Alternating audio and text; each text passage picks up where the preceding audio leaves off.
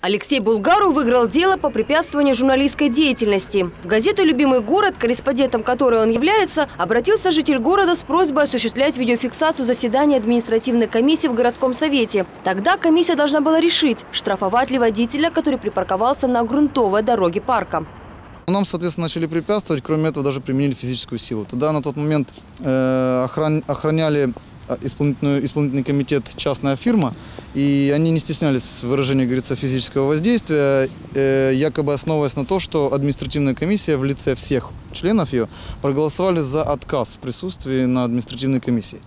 С фактами нарушения своих конституционных и законных прав Булгар обратился к юристам.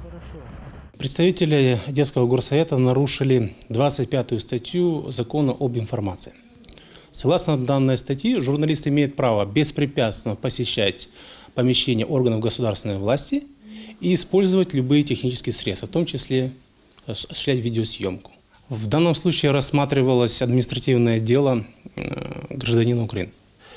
Э, Все административные дела в соответствии с законом рассматриваются открыто. Поэтому журналист имел право осуществлять видеосъемку данного мероприятия. И вот трехмесячные судебные тяжбы принесли плоды. Приморский суд признал действия сотрудников горсовета неправомерными. Теперь журналист намерен обратиться в прокуратуру, чтобы чиновники и их охрана понесли наказание. Дарья Сидоровская, Алексей Чеповский, Думская ТВ.